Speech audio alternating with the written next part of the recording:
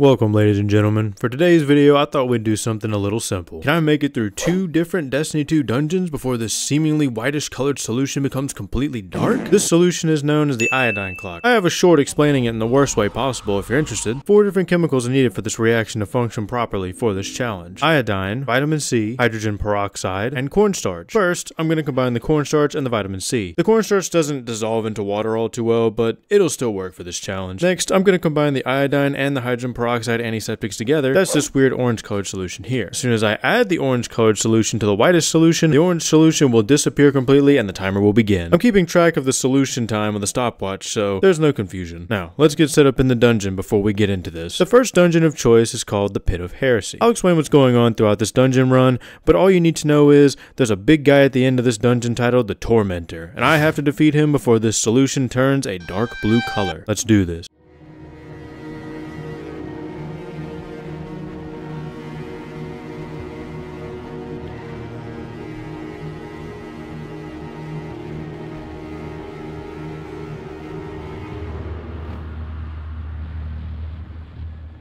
So now that the timer started, I'm going to make my way to the first area. This part has a lot of falling, so make sure you're wearing your feather falling boots and pray that you've done enough squats. Now that we've made it past all the running, it's time to solve the first puzzle. This puzzle's pretty easy. There's three different enemies that I have to defeat in certain ways with the sword I will obtain from an enemy titled Swordbearer. Once I've completed that, the door to the next area will open. I have to be careful here. My sword could run out of ammo, and I'll have to find a new one. Now why would a sword need ammo you ask?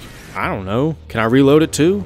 The first enemy is the wizard. I have to use the actual projectiles from the sword to do damage to the wizard. The second enemy is the shrieker. He's just that big purple floating ball guy. To beat him, I just block his projectiles back at him to do damage. The final enemy is the shielded knight. All I need to do is actually hit him with the sword itself to do damage.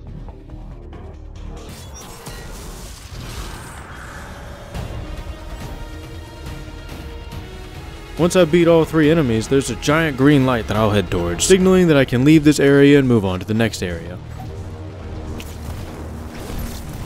They don't pay these guys enough to do this, I'm afraid. Now that I've successfully crumbled the last pit keeper like a Popeye's biscuit, it's time to go deeper into the dungeon to the next area. This area has three main hallways, all guarded by three ogres that can't be damaged, but they will disappear once the door to the next area is open. There are three doors at the end of each hallway, all blocked off by a green wall. An enemy titled Knight will need to be defeated here in order for him to drop this little orb, which is actually the key to one of the three doors. Once all three doors have been opened, the next area will be unlocked. The easiest way to avoid the ogres and open the doors is by scurrying around like some rat in New York City.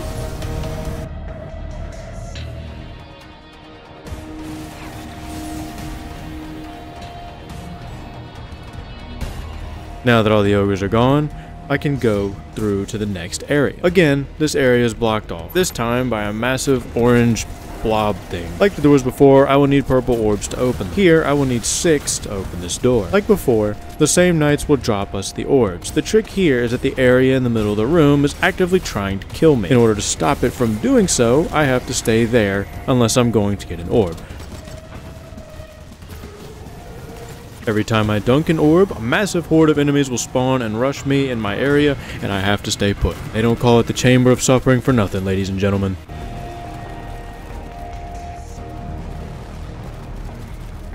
Luckily, my guns are a lot cooler, so it looks like they're stuck in here with me, not the other way around. Now that the door is unlocked, I can go to the next area. Just jump down the hole like so, and there you go. The next area is a bit of a maze, but essentially, all you need to do is defeat three enemies titled Malevolent Ritualists. Once I defeat all of them, the door to the final area will be open.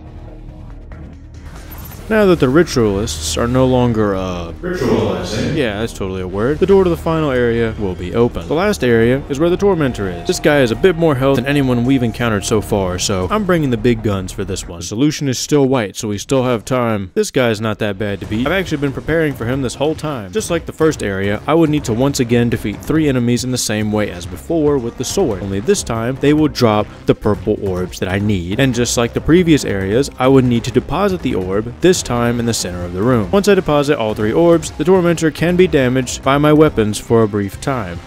It looks like we didn't do enough damage to get him this time, but that's okay. I'll just have to go around and repeat the process again. I think I've got him this time. The iodine clock must be getting close at this point, so it's now or never, ladies and gentlemen.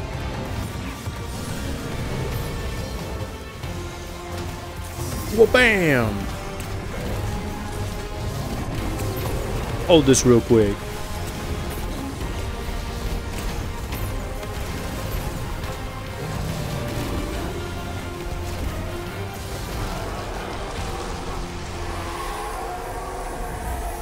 And just like that, ladies and gentlemen, the Pit of Heresy is done. I was relieved to see that I had beaten the iodine clock, but by how much? Well, the reaction actually happened around a minute afterwards, meaning if I didn't win in that second damage phase, I probably would have lost. Kinda chilling thinking about it. Also, the iodine clock did not turn blue immediately, like you might see from some other videos online. This is probably because of the type of iodine I'm using, so it's no big deal. It's time to move on to our next dungeon, the Shattered Throne. This is a bit of a longer dungeon, so to offset the time it will take to to complete it, I just add about half the amount of iodine to the solution this time. That way, it'll take longer to react and give me a little bit more time.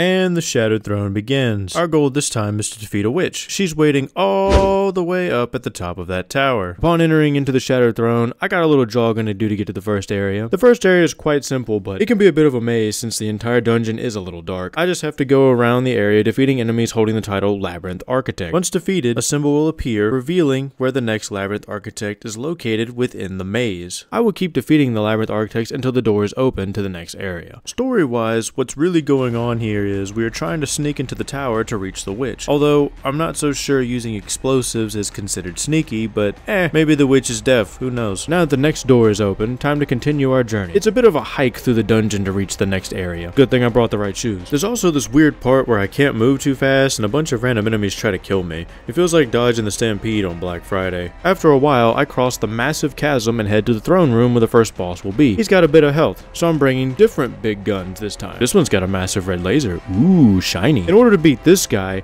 I just have to not die, like I just did. Anyways, I'll need to defeat four wizards, and upon the death of the fourth wizard, I have to extinguish, uh, something? This thing right here? Whatever that is. Then the boss will be damageable.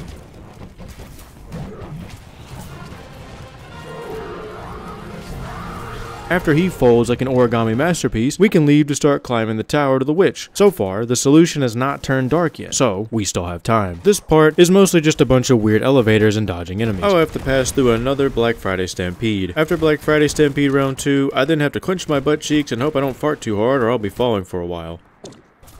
Once the butt cheeks are unclenched, I can at last take the final elevators to the top of the tower where the witch will be waiting. At this point, the iodine clock had not changed color yet, so I'm feeling pretty confident. The witch isn't really that bad either. The three large knights who protect her will drop orbs upon death, which will allow me to damage her. The trick is, the more orbs I collect, the more damage I do to the witch. Looks like I got all three orbs, ladies and gentlemen. It's time to hit her with the fat McCrispy.